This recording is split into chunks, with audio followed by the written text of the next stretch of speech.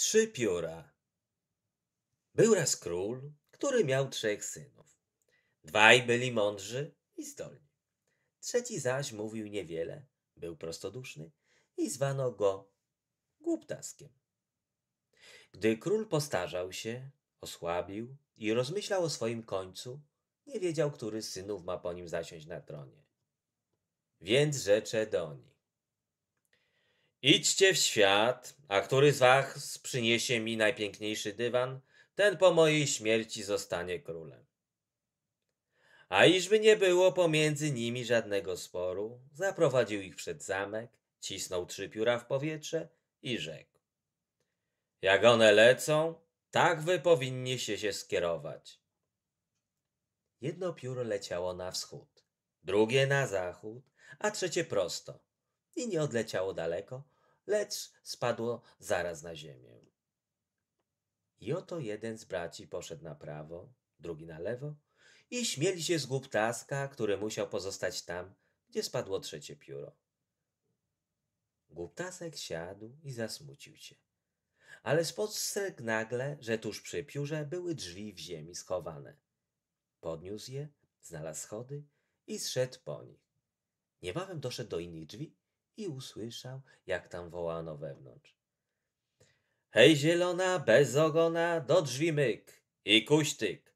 Zobacz het, zobacz wnet, kto tam może być na dworze. Drzwi się otworzyły i zobaczył wielką, grubą ropuchę, a obok niej masę małych ropuszek. Gruba ropucha spytała, czego żąda. Chciałbym mieć, odparł, najpiękniejszy i najdelikatniejszy dywan. Na to stara zawołała jedną z młodych i rzekła. Hej zielona, bez ogona, ruszaj myk i kuśtyk, a gdy łapki ci posłużą, przynieś mi szkatułkę dużą. Młoda ropuszka przyniosła szkatułkę, stara otworzyła ją i po wyjęciu dywanu, który był tak piękny i tak cienki, że nawet na ziemi nikt podobnego wykonać nie mógł, podała go głuptaskowi. Ten podziękował i poszedł na górę. Ale dwaj starsi bracia mieli głuptaska za takie cielątko, że myśleli, iż nic nie znajdzie i nie przyniesie. Co mamy sobie wielkiego trudu zadawać z szukaniem? rzekli. I z tymi słowy zdjęli z pleców lepszy, pierwszej lepszej napotkanej owczarki jej grubą, ordynarną chustę i zanieśli królowi. W tym samym czasie zjawił się głuptasek, który przyniósł swój piękny dywan. Gdy król dywan obejrzał, zdziwił się i rzekł. Prawdę mówiąc, tron należy się najmłodszemu. Ale dwaj starsi bracia nie dali ojcu spokoju, dowodząc, że to niepodobieństwo, ażeby głuptasek, mający wyraźne pomieszanie zmysłów, miał stać się królem i prosili go, ażeby podał nowe warunki. Na to ojciec rzeczy. Ten otrzyma państwo, kto mi przyniesie najpiękniejszy pierścień.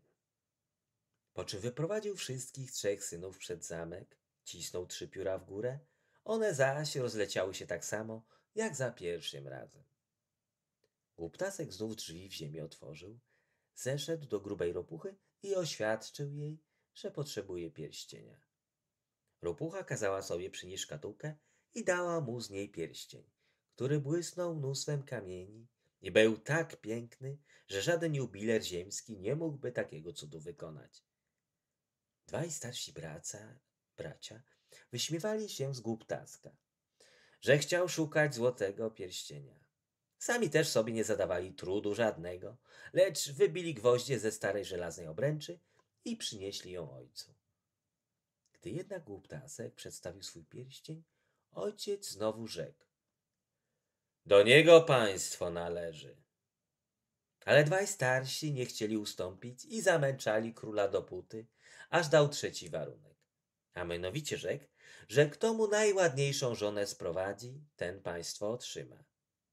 Trzy pióra rzucono w górę, padły w poprzednim kierunku. Głuptasek już się nie wahał i poszedł wprost do ropuchy. Mam sprowadzić do domu najładniejszą żonę. Oho, Odparła na to ropucha. Najładniejszą żonę. Takie nie mam pod ręką, ale to nic. Będziesz ją miał. Dała mu wyżłobioną brukiew z sześcioma zaprzęgniętymi myszami. A głuptasek rzeczy ze smutkiem. Co ja mam z tym zrobić? Wsadź tylko do środka jedną z moich małych ropuszek. Odparła stara. Na to on bez wyboru pochwycił jedną ropuszkę i wsadził ją do brukwi. Ale zaledwie tam się znalazła, wnet się zamieniła w cudną, piękną pannę. Z brukwi powóz, a z sześciu myszy zrobiły się konie. Wtedy on ją pocałował, zaciął konie i powiózł do króla. Nadeszli jego bracia, którzy nie zadawali sobie jak zwykle żadnego trudu przy wyborze pięknej kobiety, lecz wzięli pierwszą, lepszą dziewuchę wiejską. Gdy król zobaczył ją, rzekł. Państwo obejmuje po mojej śmierci syn najmłodszy. Ale dwaj bracia aż zagłuszyli króla swymi okrzykami.